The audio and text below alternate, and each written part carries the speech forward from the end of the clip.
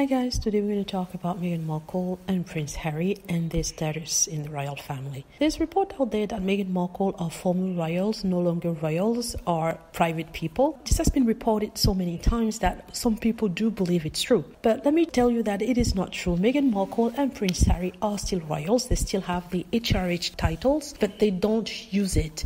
And also, they are still the Duke and Duchess of Sussex. And also, Prince Harry is still the grandson of the Queen and the son of the future king. So I don't see how they will cease to be royals.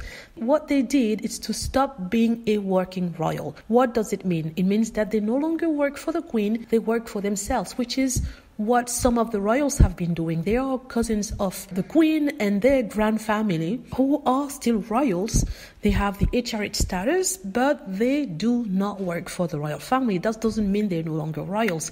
They still are. Anywho, so those who are rejoicing that Meghan Markle and Prince Harry are no longer royals or calling her former royals, well, they are either misleading the people who listen to them or out lying about that just to try to diminish their aura or their uh, link to the family. Anywho, that's what I wanted to say on this channel so people don't be misled on what Meghan Markle and Prince Harry are or are not. They are still royals, still their royal highnesses. So yeah, our girl Meghan is still a duchess. She's still the daughter-in-law of Prince Charles, the future king of England, and also the granddaughter-in-law of the Queen of England. Let me know what you think. Hope you like the video. Feel free to click on like if it's the case.